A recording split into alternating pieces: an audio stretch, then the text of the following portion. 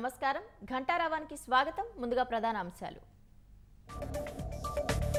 కాసేపట్లో తీవ్ర తుపానుగా మారనున్న మిగ్సామ్ మంగళవారం నిజాంపట్నం వద్ద తీరం దాటే అవకాశం.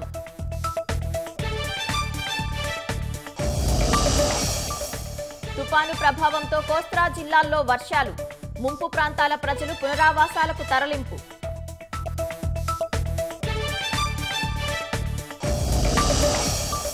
ఏపీలో అక్రమంగా ఓట్లు తొలగిస్తున్నారన్న కనక మేడల. వైకాపా కుట్రలు పన్నుతోందని రాజ్యసభలో ప్రస్తావన.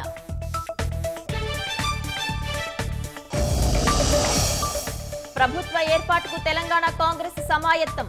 సిఎల్పి నేతను ఎన్నుకోనున్న ఎమ్మెల్యేలు.